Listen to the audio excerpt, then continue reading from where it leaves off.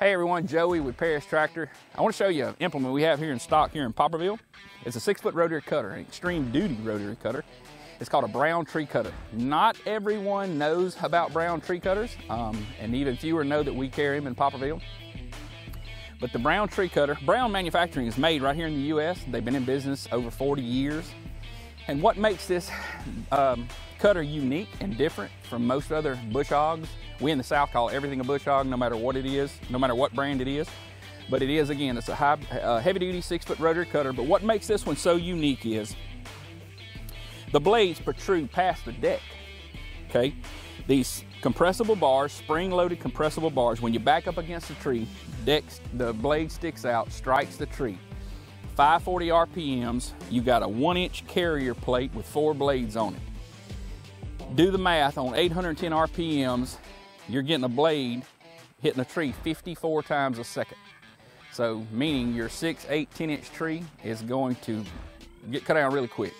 Um, again, they're super heavy duty. They have one inch skid plates, come standard with rotary, I mean, come standard with chains. You can see the three point. They're built extremely heavy. Heavy. You can hook these things to a 100 plus, 100 horse, 100 plus horsepower tractor. And again, you just it's amazing how heavy duty they are. You have to see one in, per in person and I'd like for you to. Come see one here in Poplarville. But let's do this now. I want to show you a few clips of how this thing works when you back it up against a tree. And, um, and let's cut a few trees and you'll see what I'm talking about.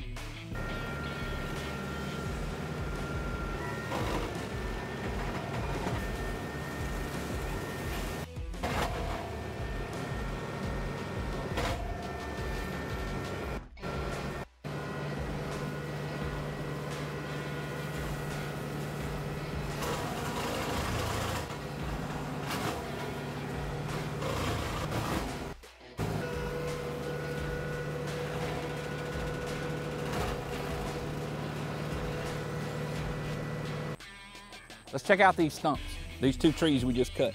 This one measuring seven and a half, almost eight inches. This one, uh, I guess roughly about six inches.